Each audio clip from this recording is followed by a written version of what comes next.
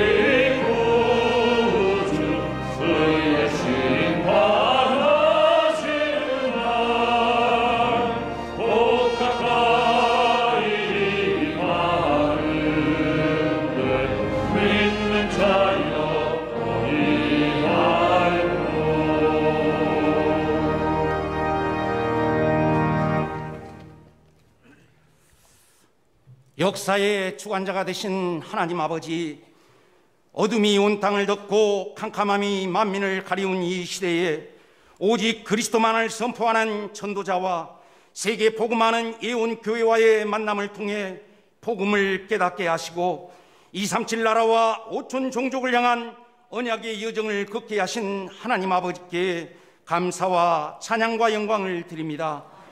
살아계신 하나님, 지난 한 해 동안 코로나19로 인하여 많은 어려움이 있었지만 눈에 보이는 것에 흔들리지 않고 오직 안에 모든 것 회복시키는 탑과 능력이 있음을 깨닫고 오직 말씀과 기도 속에서 모든 것을 선택하고 복음을 누리게 하시니 감사합니다. 2022년 나중 영광이 이전 영광보다 크리라는 성취될 언약을 붙잡고 복음으로 여는 새해를 맞이하여 한 주간도 복음이 이끄는 삶을 누리다가 행복한 주일 예배드리게 하시니 더더욱 감사를 드립니다.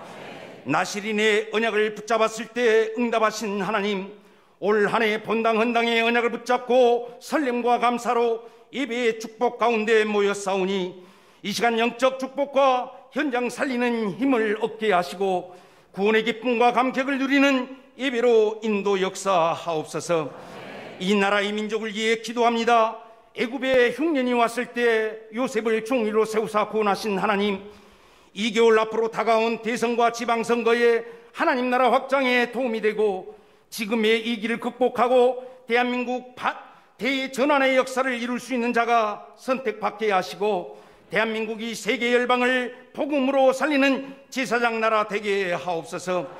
우리 예원교회가 본당 헌당의 온년을 맞이하여 영원히 남을 라스트천 운동의 전 성도가 믿음과 기도로 동참하여 인생 작품을 남기는 저희 모두가 되게 하시고 여기에 동참하는 모든 성도들의 가정과 산업의 빛의 경제를 허락하시고 응답 24 보좌와의 축복을 받아 누리게 하여 주옵소서. 무엇보다도 후대에게 정확한 복음을 전달하고 시대 살릴 그리스도의 일꾼과 제자를 세우며 선교에 올인하여 하나님의 시선과 관심이 집중된 영적 플랫폼으로 영적 지각 변동의 역사를 일으키는 예웅교회가 되게 하옵소서 우리의 후대들의 삶이 복음의 말씀으로 편집 설계 디자인되어 하나님이 주신 나를 찾고 하나님께서 주시는 힘을 회복하여 각자의 현장에서 서밋들로 쓰임 받게 하옵소서. 성교사님들의 성교 현장에 복음 운동이 확산되게 하시고 성교사님들의 안전과 건강을 지켜주시고 사에게 많은 열매와 증거가 있게 하옵소서. 말씀을 증거하시는 당회장님께 여호와의 영으로 충만케 하시고 성삼이 하나님의 오력을 주옵소서. 가시는 현장마다 아홉 세팅과 삼시대를 열고 리딩에 가는 응답을 누리게 하시되 가시는 현장마다 말씀이 흥황하여 세력을 얻는 응답을 누리게 하옵소서. 오늘 주실 말씀을 통해 닭과 갱신과 기회를 얻는 시작이 되게 하옵소서. 찬양 중에 거하신 하나님, 아가페 찬양대가 여호와의 성호를 찬양할 때 홀로 영광 받으시고 예배를 방해하는 모든 흑암이 무너지고 우리의 마음밭이 하나님 말씀 받기에 가장 좋은 옥토밭이 되어지는 은혜로운 찬양 되게 하옵소서. 우리의 참 소망과 생명 되신 예수 그리스도로 기도합니다. 아멘.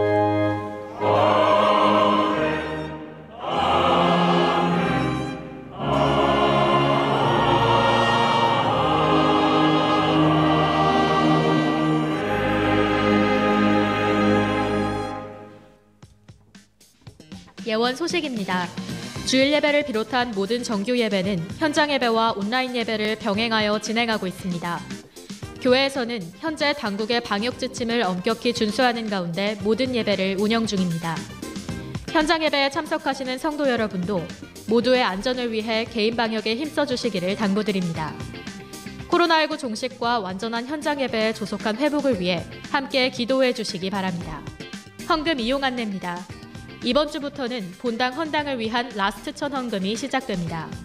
예배실 입구에 배치된 라스트천 헌금 봉투를 사용하시거나 일반 헌금 봉투에 헌당 또는 라스트천을 직접 기재하여 헌금함에 넣어주시기 바랍니다. 온라인 헌금은 안내되는 계좌 또는 온라인 통합 계좌로 입금해 주시면 됩니다. 본당 헌당을 위한 라스트천 헌금에 모두가 참여해 헌당 경제 회복의 응답을 함께 누리시기를 바랍니다.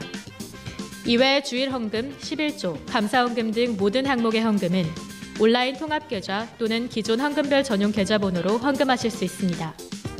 현장 예배에 참석하시는 성도님들은 본당 입구에 비치된 헌금함 이용도 가능합니다. 담임 목사님과 전체 교역자 만남의 시간이 송구영신 예배를 앞둔 지난 12월 31일 문화센터 13층 당회실에서 열렸습니다. 이날 담임 목사님은 참석자들에게 2022년에는 모든 교역자가 영적 서밋으로서 본당 헌당을 위한 라스트천과 70인 제자운동에 주력해달라는 권면의 말씀을 전하셨습니다. 장로회 신년 할애 예배가 지난 2일 원리스홀에서 열렸습니다. 장로 부부들이 참석한 가운데 열린 이날 예배에서 담임 목사님은 사모누를 주제로 특강 메시지를 전하셨습니다. 총회 신년 하례 예배가 지난 6일 커버넌트 홀에서 진행됐습니다. 증경 총회장이신 담임 목사님은 이날 예배에서 축사를 통해 총회와 각 개교회를 위해 축복의 말씀을 전하셨습니다. Remnant를 글로벌 리더로 양육하기 위해 세워진 예원선교원 예스키즈에서 원아를 모집합니다. 모집 연령은 만 4세부터 7세까지로 오는 21일까지 원서를 접수받습니다. 워십 음악, 체육 미술 등의 활동이 펼쳐지는 예스키즈는 오는 3월 2일에 개강할 예정입니다. 예원 소식을 마칩니다. 오늘 은혜 받고 성취될 하나님의 말씀은 로마서 1장 8절에서 15절 말씀입니다. 먼저 내가 예수 그리스도로 말미암아 너희 모든 사람에 관하여 내 하나님께 감사함은 너희 믿음이 온 세상에 전파됨이로다. 내가 그의 아들의 복음 안에서 내 심령으로 섬기는 하나님이 나의 증인이 되시거니와 항상 내 기도에 쉬지 않고 너희를 말하며 어떻게 하든지 이제 하나님의 뜻 안에서 너희에게로 나아갈 좋은 길 얻기를 구하노라. 내가 너희 보기를 간절히 원하는 것은 어떤 신령한 은사를 너희에게 나누어 주어 너희를 견고하게 하려 함이니 이는 곧 내가 너희 가운데서 너희와 나의 믿음으로 말미암아 피차 아니함으로 얻으려 함이라. 형제들아 내가 여러 번 너희에게 가고자 한 것을 너희가 모르기를 원하지 아니하노니 이는 너희 중에서도 다른 이방인 중에서와 같이 열매를 맺게 하려 함이로되 지금까지 길이 막혔도다. 헬라인이나 야만인이나 지혜 있는 자나 어리석은 자에게 다 내가 빚진 자라. 그러므로 나는 할 수 있는 대로 로마에 있는 너희에게도 복음 전하기를 원하노라. 아멘.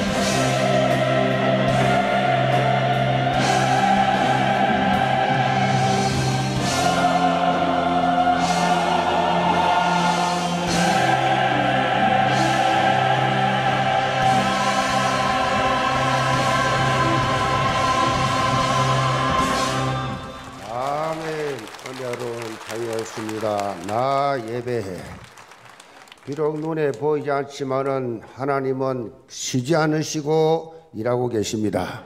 우리와 함께 계시고 우리 기도를 들으시고 우리 예배를 받으시고 우리의 소원을 다 이루어 주시는 살아계신 하나님이십니다.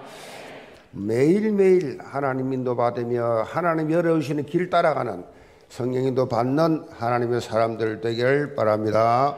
신앙 고백합니다. 주는 그리스도시요 살아계신 하나님의 아들이십니다. 아멘.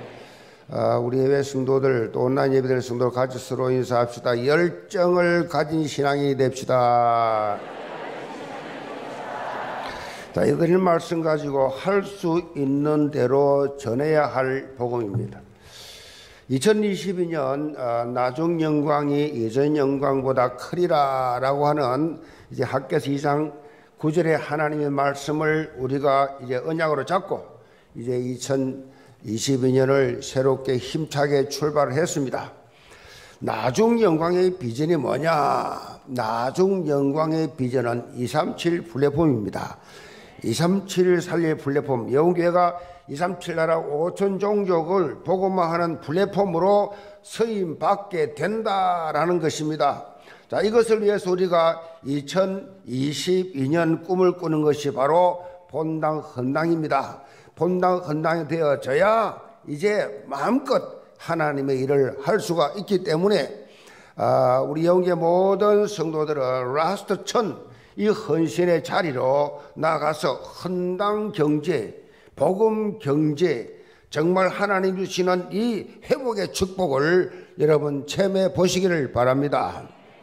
아, 오늘부터 어, 내가 너에게 뭐라 그랬어요? 오늘부터는 내가 내게 복을 주리라. 그동안 복 안 줬는가 봐요. 복을 주리라. 뭐 조금 뭐안 죽고 안 죽고 살 만큼 줬는가 봐. 오늘부터는 내가 너에게 복을 주리라.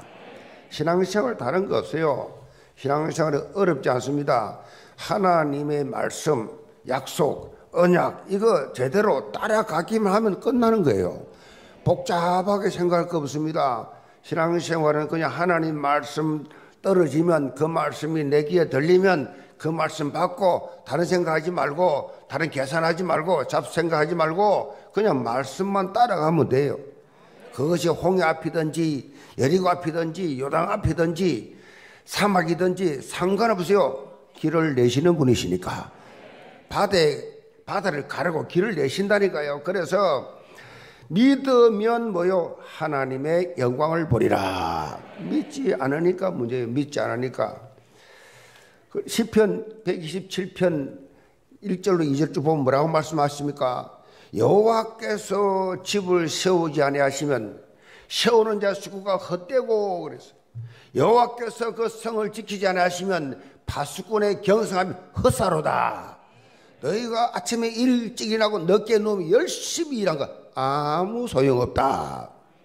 왜 그래요? 여호와께서 집을 세우지 아니하시면 무슨 말입니까? 신앙생활에 항상 우선순위를 정하라는 것입니다. 우선순위가 분명해야 됩니다. 철저한 우선순위. 철저해야 됩니다. 뭐든지 하나님 첫째가 돼야 돼요. 어? 미국의 어느 구두, 구두 수선공이 대성공을 했습니다. 기자가 물었습니다. 어떻게 그렇게 구두를 통해서 구두 찝는 거 가지고 그런 큰, 이런 큰 성공을 이루었습니까? 첫째, 나는 하나님 생각합니다. 두 번째, 가족 생각합니다. 세 번째, 구두 생각합니다. 구두를 연구하고 구두를 생각하는 게 아니고 첫째, 하나님 생각하고 그 다음 가족 생각하고 그 다음 구두 생각한다는 겁니다. 우선순위 제가 늘 말씀드리잖아요. 신앙생활 하면서 응답 못 받는 이유 왜 됐다 안 됐다가 왜 그렇게 한여름 날씨처럼 왜 그러냐 왜 신앙이 자라지 못하냐 두 마음 품어서 그래요.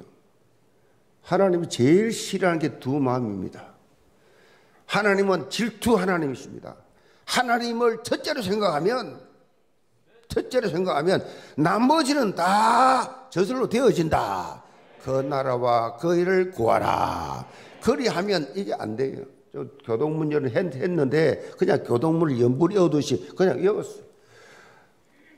그 나라와 그 일을 먼저 구하면 하나님의 일 우선하면 나머지 내가 다 알아서 해주겠다.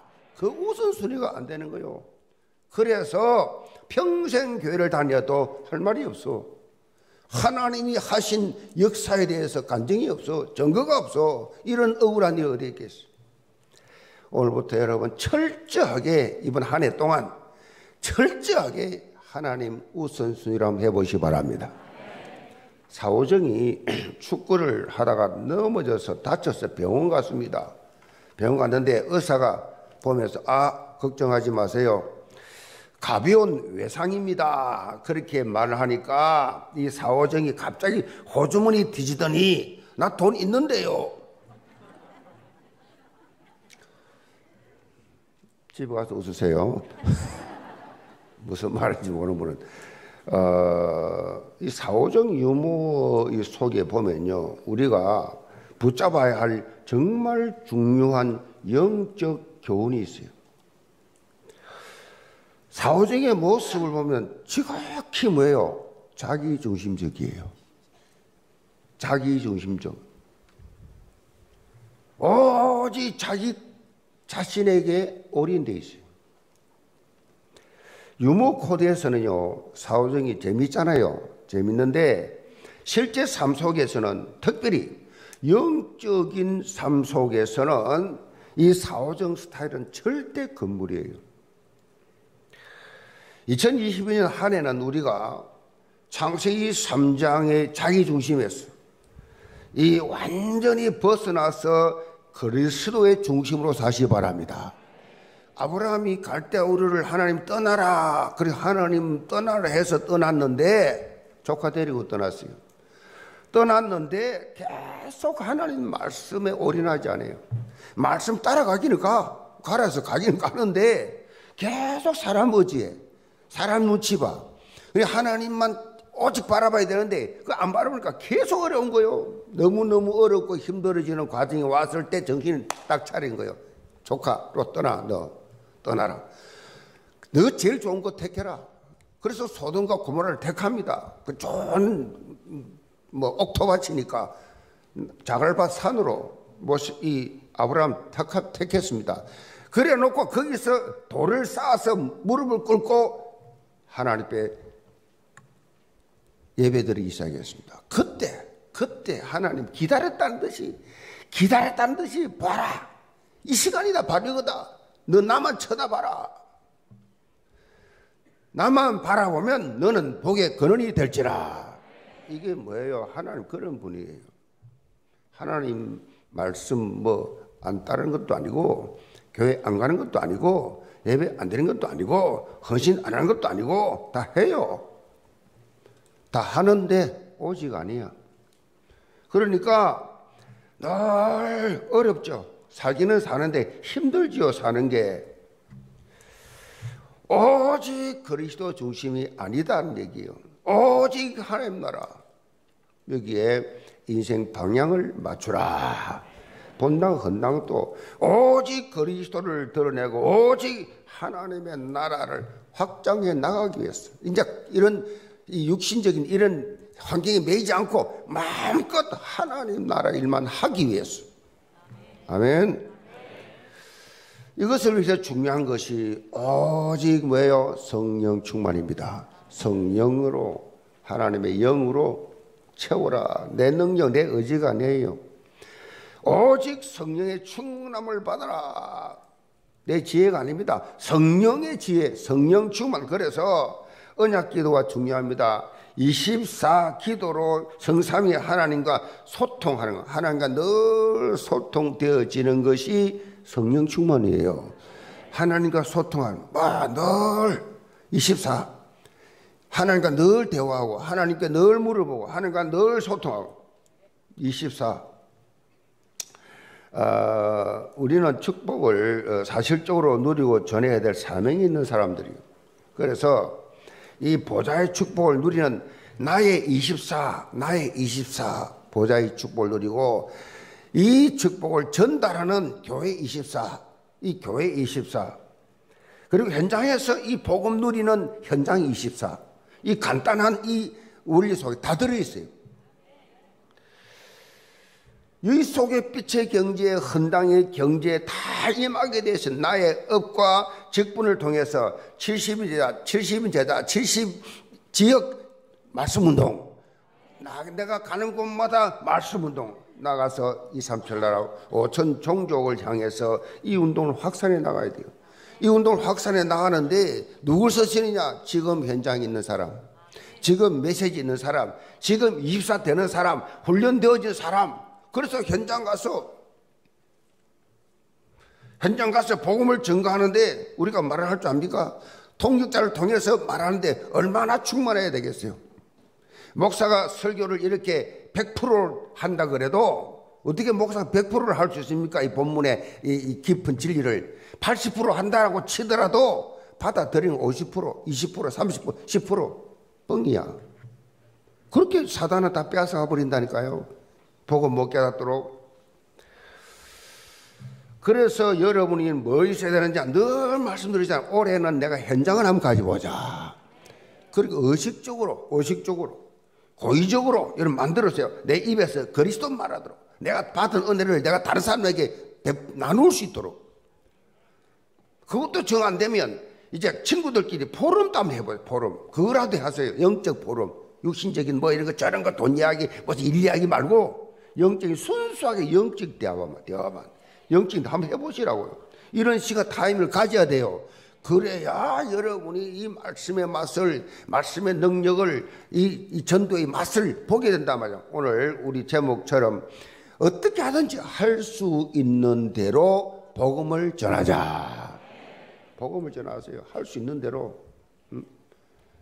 음? 우리 교회 집사님 중에 뭐 이렇게 식품을 판매하는 집사님이 있어요. 그래가지고 전국으로 막 다니는데 톡이 왔어요. 어? 제가 저도 그 식품을 먹는데 그야말로 이막 구미에서도 올라 그 우리 교회로 온대 난 몰랐어요. 구미 청년인데 구미에서 올라오고 대치동에서도 오고 그렇게 전도를 저 강원도 저 부산에 저 대구에 그 복음을 증거하고 나면 그 지역에 교회 다 연결시켜주고 계속해서 복음을 증거하는 너무너무 감격스러운 그런 고백을 하더라고요. 우리가 무슨 장사를 하든지 무슨 직업을 가졌든지 어떻게 하든지 간에 먼저 그 영혼을 바라보고 영혼의 생명, 먼저 육신의 양식 전에 영혼의 생명, 영혼의 양식부터 주는 이런 전도자 되시기를 바랍니다. 어떻게 하든지 할 수 있는 대로 내가 할 수만 있다면 무슨 직업을 가졌든지 복음을 증거하겠다. 우리가 2020년 새해부터 이 로마서 말씀을 그렇게 살펴보고 있는데 사도 바울이 이 로마서를 비롯해서 각 교회 또 신앙 공동체를 향해서 다양한 서신서를 선 이유가 뭐냐? 14권의 서신서를 이 바울이 썼는데 그 이유가 뭐냐? 바울이 자신의 상황 가운데 어떤 상황이 되더라도 바울은 할 수 있는 대로 복음을 전했다라는 것입니다. 심지어 감옥에 갇혔는데 감옥에 복음을 증거하다가 감옥에 갇혔는데 감옥 갇히면 누가 있습니까? 죄수, 간수, 죄수, 간수들에게 복음을 증거했다. 또 한편으로는 자신이 직접 모여 갈 수가 없는 현장, 그래서 그 그런 곳에는 성도들을 향해서 복음의 진수를 누릴 수 있도록 서신을 편지를 그리게 썼습니다. 그것이 옥중 서신이고 그것이 목회 서신입니다. 사도 바울은 자신이 처한 환경 속에서 할 수 있는 대로 복음을 늘 전거해 왔다. 우리가 2022년 본당 헌당의 원년이라는 시대적 미션과 함께 놓치지 말아야 될 것이 뭐냐? 70인 제작 운동입니다. 70인. 내, 내 나를 통해서 70명 70명을 내가 한번 내가 복음을 전해보자. 뭐 교회 데려오라가 아닙니다. 70명에게 내가 올해 내가 한 복음을 전해보자. 한 명 한 명. 그 현장에서 복음을 말해보자. 정말 예수가 그리스도라는 사실을. 이 사실을 몰라요. 교회를 다니도 모릅니다. 그러니까 뭐 다른 종교인들, 다른 이런 뭐 불신자들 말할 것도 없고 내가 가진 이 복음, 이 비밀, 이 보, 보화를 내가 말해보자. 자, 70명이 될 수도 있고 70곳이 될 수도 있겠지요. 쉽게 설명하면 여러분이 성경의 70인 제자처럼 지역에서 또 현장에서 산업 현장에서 또 학업 현장에서 그렇게 복음 전도자의 삶을 살아보라라는 말씀이에요. 그 가운데 하나님께서 누구를 예비하느냐? 라합 같은 기생 라합 같은 또 장사꾼 브리스가 같은 시장에서 바울이 천막 장사하다가 브리스가 아굴라 같은 또 루디아 같은 어? 옷 장사하는 루디아 가축 장사하는 야손 그런 뭐 그런 그 저 장사하는 사람들에게 복음을 주고 이런 제자들이 현장에 그렇게 많이 있기 때문에 우리는 알 수 없기 때문에 무차별로 복음을 전해보자. 그러니까 그러면 지역 복음화, 이 산업 복음화, 학원 복음화 시스템이 어느 날 구축이 될 것이다. 본당 헌당과 70인 제자 운동 이 두 가지 본당 헌당과 70인 제자 운동 2022년 어, 응답 24의 축복을 누리는 방향 그것이 영적 방향이 이 두 가지예요. 영계 모든 성도들 할 수 있는 대로 복음을 증거하면서 이전 영광보다 더 큰 다중 영광을 체험할 수 있기를 죄물로 축복합니다. 그럼 첫째로 복음 24의 여정입니다. 열정입니다. 열정 8절 봅니다. 먼저 내가 예수 그리스도로 말미암아 너희 모든 사람에 관하여 내 하나님께 감사함은 너희 믿음이 온 세상에 전파됨이로다. 내가 그의 아들의 복음 안에서 내 심령으로 섬기는 하나님이 나의 정인이 되시거니와 항상 내 기도에 쉬지 않고 너희를 말하며 어떻게 하든 하든지 이제 하나님의 뜻 안에서 너희에게로 나아갈 좋은 길 얻기를 구하노라. 자, 사도 바울이 로마를 방문하고자 하는 계획이 있다는 사실을 여기 밝히고 있습니다. 사실 이 로마 교회는 사도 바울이 세운 교회가 아니에요.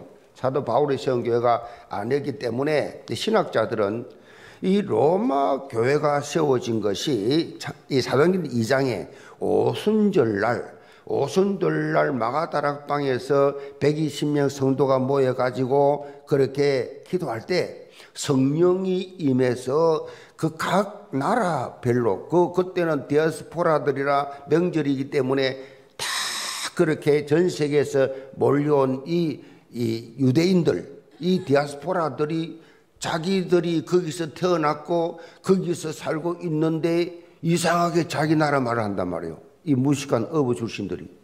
그러면 120명이 나와서 뭐 방언을 막 하는데 그 방언은 천상 방언이 아니라 지상 방언이요. 그러니까 막 각 나라별로 말을 하니까 다 충격받은 거예요. 성경에서는 15개 나라 그렇게 나와 있는데 그렇게 전, 전부 다 충격받았어요. 전 세계에서 온 이 유대인들이 너무너무 이 성령의 역사를 보고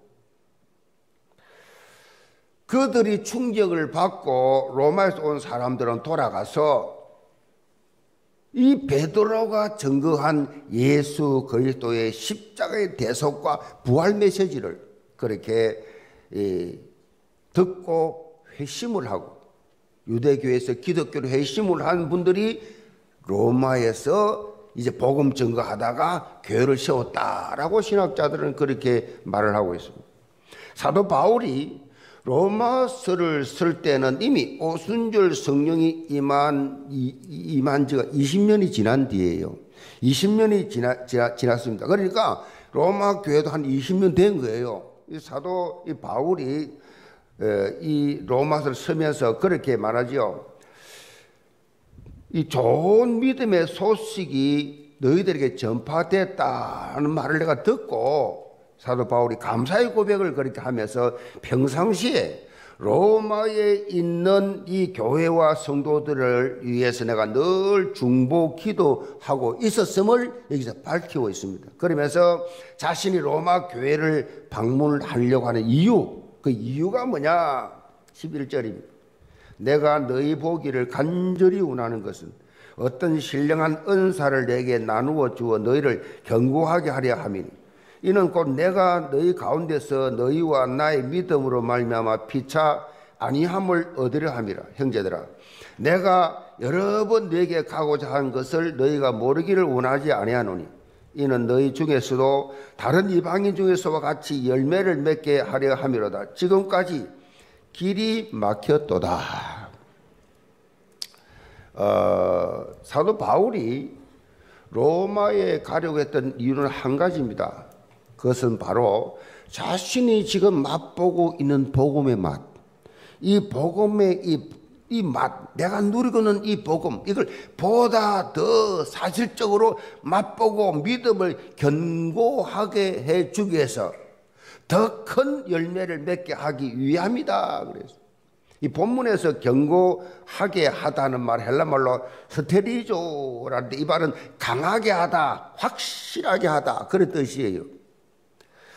이 스테리조는 예수님께서 십자가 지시기 전에 베드로에게 부탁하신 말씀에도 나와 있어. 누가복음 22장 32절에 보면 예수님께서 이 베드로를 어, 이 베드로에게 십자가 지기 전에 그렇게 어, 자기를 부인할 것을 말씀하시면서 너가 돌이킨 후에 내 형제를 굳게 하라 그렇게 말씀을 합니다. 여기서 사용된 단어가 스테리조인데 음, 베드로가 지금의 체험으로 판단으로 이 발판으로 이 너, 너가 이 다시금 회심한 이후에 그 받은 은혜를 발판으로 부활한 예수를 만난 이후에 그 발판으로 견고하게 많은 사람들이 믿음을 굳게 하는 이런 메시지를 주었어요.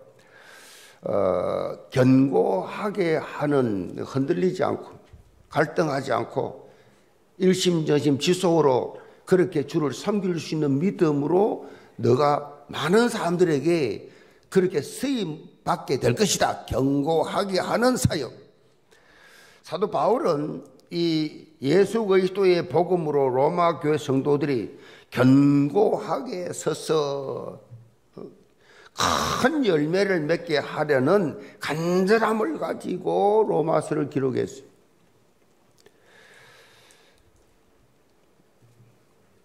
로마서를 어, 기록했는데 우리는 이런 사도 바울이 가졌던 복음 24 열정, 복음 24 열정 이걸 우리가 이게 볼 수 있어요.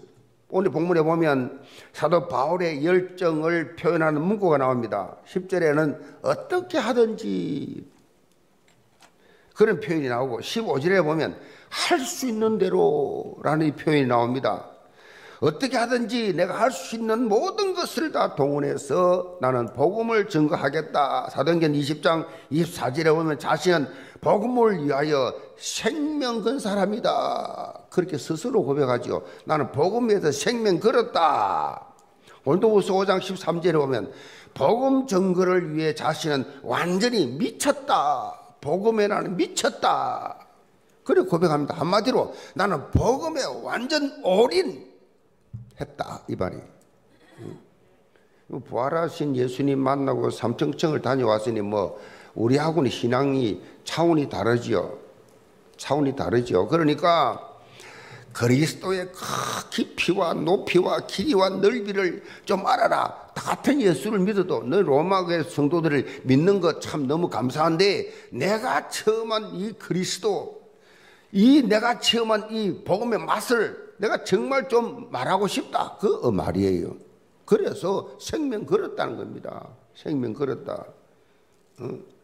돈몇 푼 가지고 시험 드는 사람들이 무슨 은혜를 받고 무슨 보좌의 축복을 누리겠어요. 그, 그까지 그거 가지고.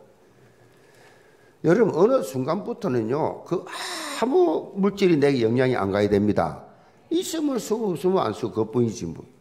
그것 때문에 무슨 갈등하고 그것 때문에 시험 들고 낙심하고 비교하고 그 아직 한참 멀은 거예요.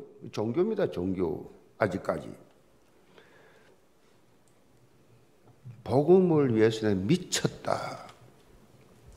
저, 저, 저 김장로 저거, 저 이권사 저거, 저 박, 박집사 저거, 예수에 미쳤구나. 그걸 불신자들 뭐라 그래요? 교회에 미쳤구나. 그 소리 들어야 돼요. 맨정신 가지지 말고. 아멘. 미쳤다. 미쳤다. 저는 그 소리를 많이 들었어요. 친구들인데. 중마고들인데. 미쳤다는. 같은 업자들, 같은 업인데 미쳤구나.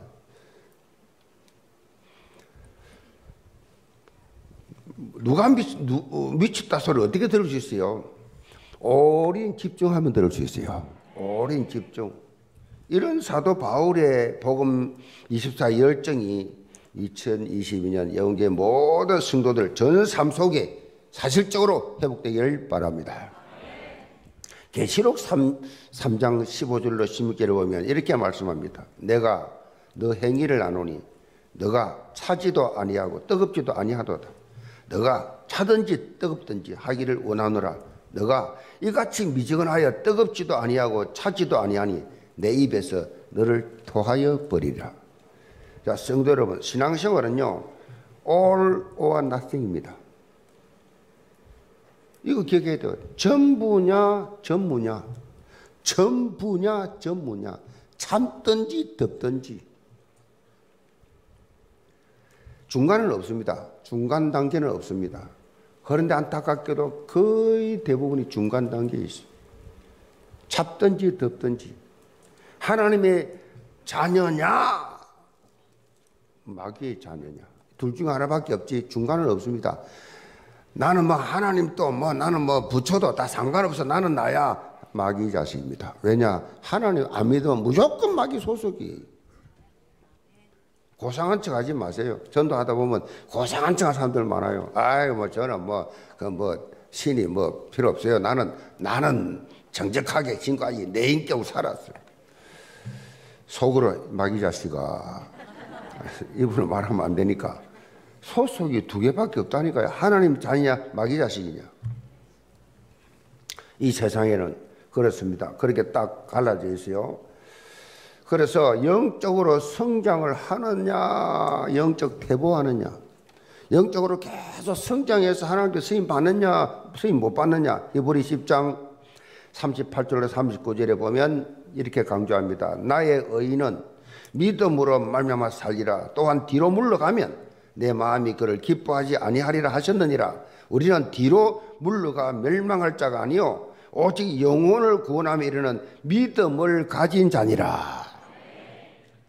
우리는 뭐 어떻게 해요? 믿음으로 계속 전진해야 돼, 전진. 전진해야 됩니다. 뭐 오력이 계속 확장돼야 돼. 영역, 지력, 체력, 경제, 인력. 아멘. 계속 전진, 전진, 전진. 확장, 확장, 확장. 성장, 성장, 성장. 아멘. 자라가는 가는 도다. 계속 자라가야 돼, 자라가야 돼. 오직 영혼 구원을 향해서 올인하는 그런 참된 믿음의 삶을 살아야 한다. 그런 뜻이지요. 특별히 이런 올인의 삶, 복음 24의 이 삶은요, 상대방뿐만 아니라 자기 자신이 살아나요. 자기 자신, 그게 성경 원리예요. 사도 바울은 12절에 피차 아니함을 얻으려 함이라 이 표현을 쓰고 있습니다. 바울은 복음을 전파하면서 안디를 얻고 로마 교회 성도들은 복음을 들으면서 안디를 얻고 그렇죠. 바울은 막 복음 전파하면서 힘을 얻죠. 힘을 얻고 막 충만하고 또 듣는 사람도 듣고 힘을 얻고 충만하고 아멘. 나 살고 너 살고 영적인 것은요 전하고 나누어 줄수록 자신의 유익이 돼요. 자꾸 전 많이 전할수록 더 유익이 돼요. 또 완벽하게 내가 그릇을 준비해서 복음을 증가하겠다 이런 생각 가진 사람 많아요. 평생 못합니다. 네, 평생. 그래서 가만히 보면요, 초 엘리트들 좀 나름대로 세상적으로 성공한 사람들의 이 완벽주의가 결국 성인들은 못 받아요. 쓸데없는 자존심 세가지고 내가 완벽하게 훈련 받아가지고 내가 완전히 준비해가지고 내가 내가 내가 내가 평생 못합니다. 잘 보세요. 평생 다락방 못합니다. 평생 말씀 운동 못해요. 내가 준비해서 죽을 때까지 못해요. 한마디도 전하지 못합니다. 그렇게 사람을 많이 만나도 못해요. 내가 준비를 덜 됐어. 저 사람이 무슨 질문하면 어떻게 하지? 여러분, 하나님 일은요, 좀 부족할수록 좋습니다. 부족, 부족해도 현장에서 만남 가운데서 복음을 어설프지만 증거하다 보면 이상하게 다락방도 하다가 보면 자기가 하다가 보면 그릇이 다 커져요. 하는 것이 배우는 거예요. 내가 이 말씀도 하는 것이 내가 배우는 거라고. 자꾸 자기가 커진다. 전도는요, 믿음으로 하는 것이지 실력으로 하는 게 아니에요. 하나님의 이런 믿음으로 하는 것이지, 뭐 내가 뭘 갖추어서 뭘, 내가 뭘 해요. 그래서요, 제가 미국에 우리 형수님이 그 보면 대부분요, 나는 왜 다락방을 자꾸 하다가 다쳐요. 우리 형수가 부산대 약 되려고 약 사거든요. 서울에서도 약국 오래 하다가 이민 갔는데 아주 뭐, 뭐, 뭐, 엘리트죠. 초엘리트입니다. 뭐, 뭐, 중고, 대 다 포함해서. 그러니까 자기는 나름대로 완벽주의 있어요. 그러다 보니 다락방을 이렇게 하면 어떻게 해요? 자기 오픈 또 해야 되잖아요. 자기가 살아온 것도 간증도 해야 돼. 그안 해. 자기 약점 말 안 해. 그리고 상대만 자꾸 가르치려니까, 어? 뭐, 뭐, 그러니까 전부 다 도망가잖아요.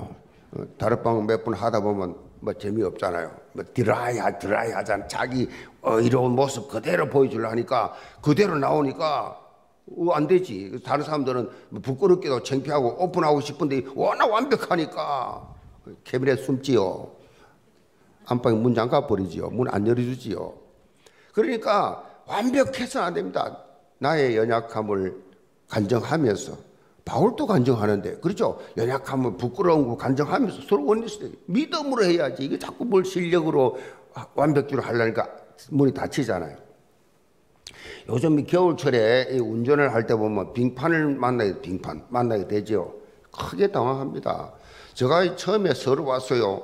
차를 타고 목동에 있을 때 수- 부산은 눈이 없거든요. 부산은 눈이 없습니다. 그 서울에서 와서 보니까 눈이 막 나온다고. 그러니 눈이 나중에 보면 차도에서도 중간 중간에는 눈을 안 치워요. 차- 차들이 양쪽 다니어 중간에 그걸 모르 그걸 모르지. 오다가 보니 바퀴가 뒷바퀴가 이 저 이 얼음 눈 위에 그 딱 걸렸어. 그래가 차가 팽 360도 두 번 돌았어요.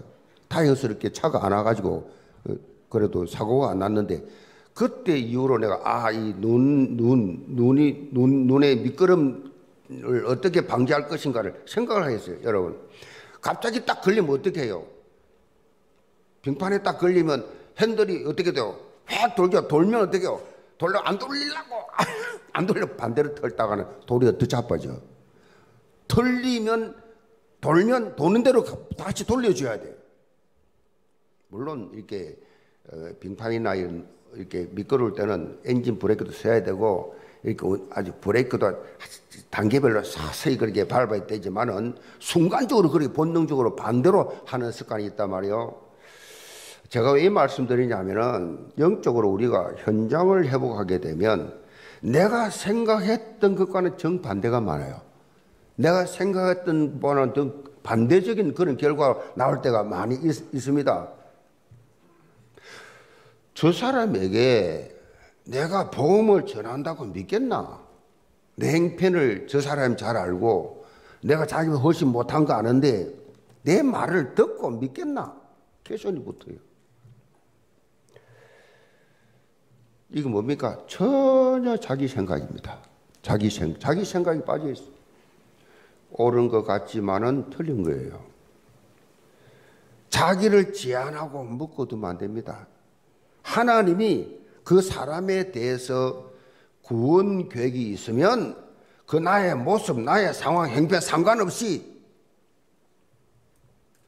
내 말 잘하고 못하는 것 상관없이 내 수준과 상관없이 그 시간에 하나님이 그 마음을 열 수가 있습니다. 내, 내가 제안하지 말란 말이요. 하나님이 하시는 성령의 다양성이 있는데 내가 내 생각에 잡혀가지고 안될 거라고 스스로 생각하고 못할 거라고 스스로 잠, 그렇게 포기하고 저는 현장에서 그런 체험을 너무 많이 해가지고 아무것도 뭐 해본 적 처음 다 부딪, 현장에 다 부딪혔어요. 당당하게 말할 수 있어요. 제가 현장에 부딪히, 부딪힌 거는 막 현장에 나가서 막 심지어 버스 전도 오래 했습니다. 버스 전도. 좌석버스 딱 타고요. 그때 좌석버스가 따로 있었어요. 부산에 39번, 40번. 해운대 출발 충무동 돌아오는 거. 딱 친구 하자, 하자. 처음 하는 거예요. 그냥 해보는 거예요. 버스 딱. 지가 10번 보여. 내가 두 번째 딱, 딱. 성경 여러분, 토요일 오후에 얼마나 피곤하실까. 그래서 복음을 순간 물질이 명예가 건강이 행복을 주지 않습니다. 오직 예수 그리스도만이 참 평안을 주십니다. 이렇게 막 그 복음을 전거를 겁 없이 그냥 노방전도 겁 없이 어른도 겁이 없이 됐냐 목회도 겁 없이 안 해보고 시작한 거예요. 해, 무조건 부딪히면 현장 가면 답이 있다. 그렇게 어, 여러분이요 하나님의 능력을 믿고 일단 한번 해 보시라니까요.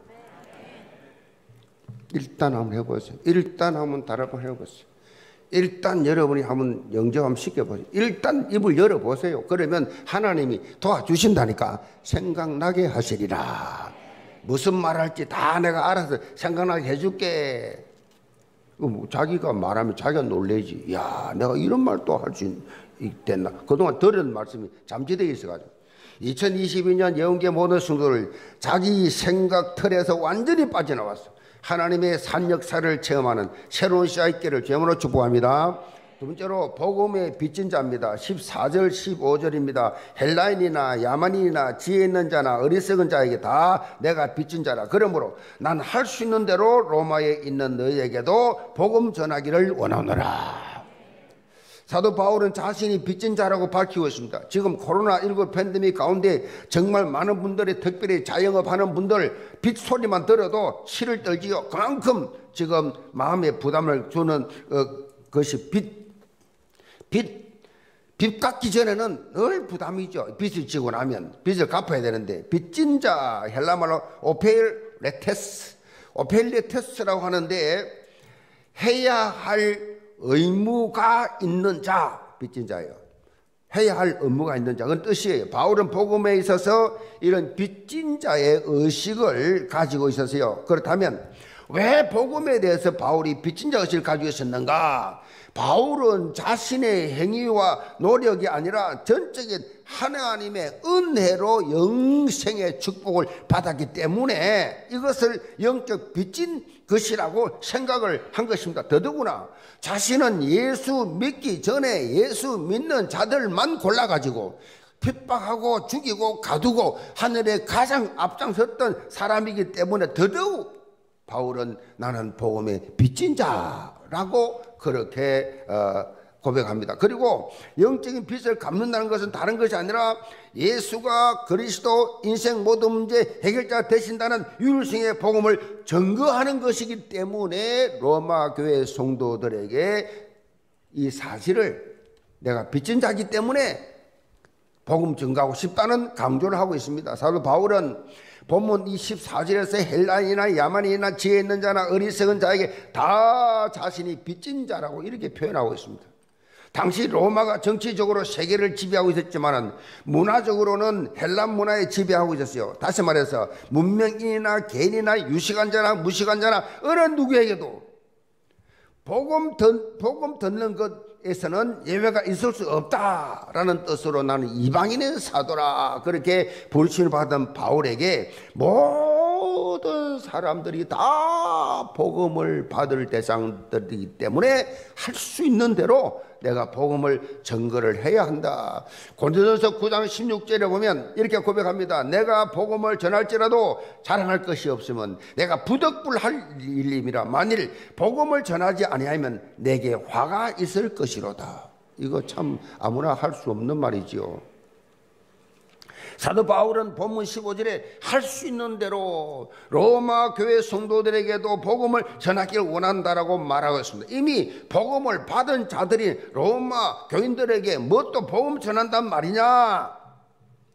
복음을 받은 자들이지만은 이 로마 교회 성도들은 정말 더 깊은 더 깊은 복음의 이 축복 이걸 체험하기를 원한다. 그 말씀. 자기가 체험한 이 복음, 이 복음에 다시 너희들이 가진 복음에다가 불을 붙이고 싶다.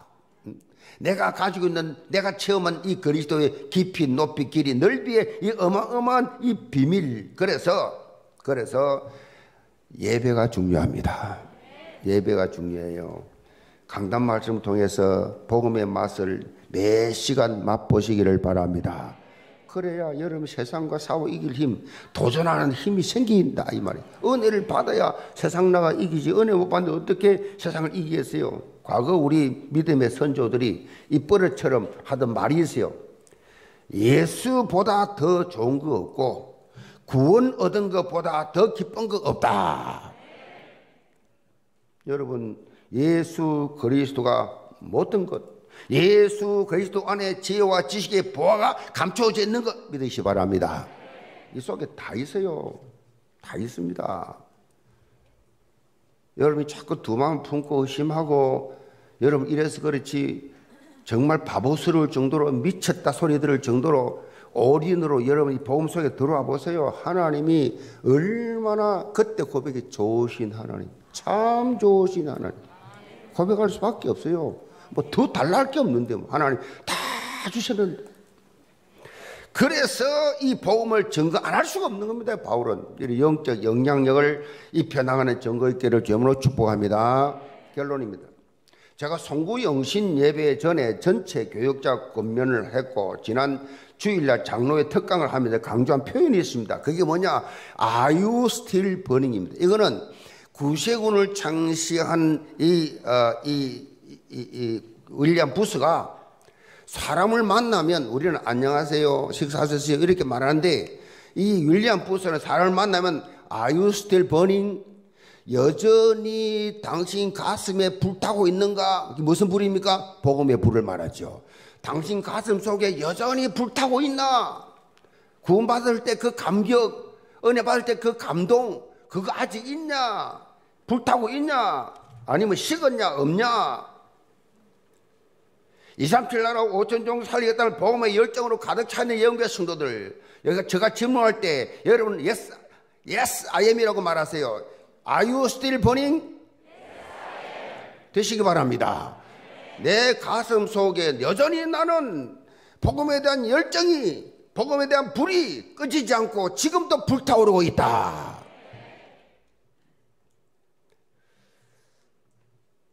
여러분 고백처럼 2022년 복음적 열정을 가지고 어떤 상황 환경 가운데서도 생명 살리는 자리로 나가는 언약적 도전이 있기를 제물로 축복합니다.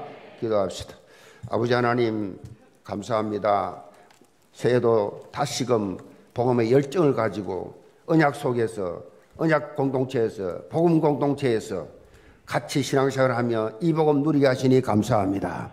할 수 있는 대로 복음을 증거하는 그리스도의 제자들로 2022년 정말로 만나는 누구에게든지 복음을 전하든지 복음지를 주든지 복음의 영향이 입을 수 있는 영적 오피니언 리더들이 다 되게 하여 주옵소서. 예, 소신 받들어 기도합나이다. 아멘. 헌금은 온라인과 본단 헌금함에 드리시기 바랍니다.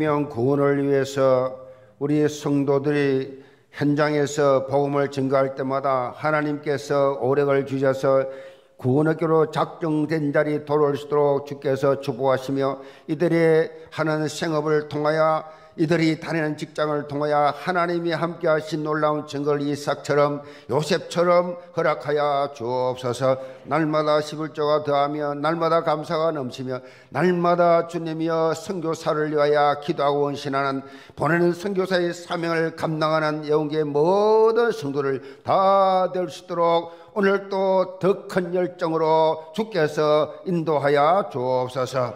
직분 따라 헌신한 모든 청지기들 일평생 일생 작품이요 일평생 자랑이요 일평생 간증이요 일평생 축복의 통로가 되는 귀한 직분이 되게 도와 주옵소서. 육신의 질병으로 고통당하는 가족들을 주님 기억하시고 그 질병 속에서 그 고통 속에서 그 아픔 속에서 부활하신 예수 그리스도 생명의 신 예수 그리스도 그분과 늘 교제하는 깊은 교제로 인하여 치유되는 기적을 체험케 하여 주옵소서. 오늘도 사가독을 주심을 감사합니다. 김형자 유사님 정 상봉 성도님 홍순걸 성도님 김수진 청년 주께 나왔습니다. 하나님이여 이들의 이름을 하나님 나라 생명책에 오늘 기록하시고 영구에 나와 예수가 그리스도 내 인생의 모든 문제 길자 인생 해답 찾는 생애 최고의 날이 되게 도와 주옵소서. 인도한 석중시 전도사님 박성규 장로님 김경은 집사님 전도자들 한 사람 한 사람 기억하시고 구원아들 영혼들이 생명줄 던질 때마다 성령께서 강력하게 역사하여 주옵소서. 특별 히 라스트천 헌금 드린 스님 속 가정들 기억하시고 마지막 지상 최대 명령 이제 이 일을 통해서 하나님이 얼마나 기뻐하시는지 나중 영광이 이전 영광보다, 영광보다 크다는 사실을 모든 가정들이 헌신한 가정들이 체험하는 놀라운 응답이 있게 하여 주옵소서. 예수 그리스도를 받들어 축복 기도합나이다. 아멘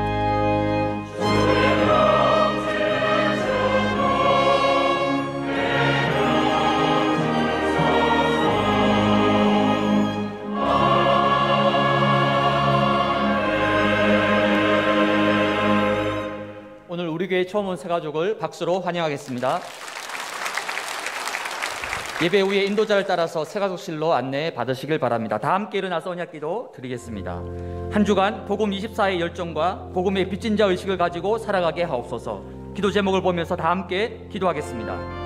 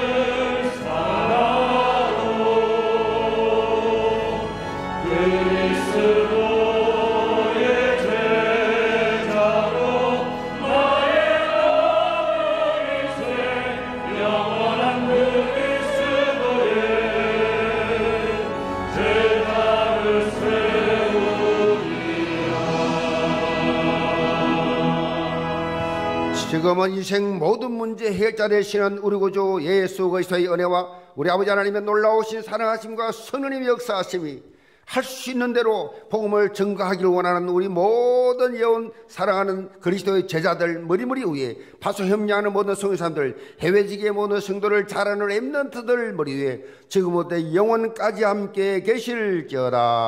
아멘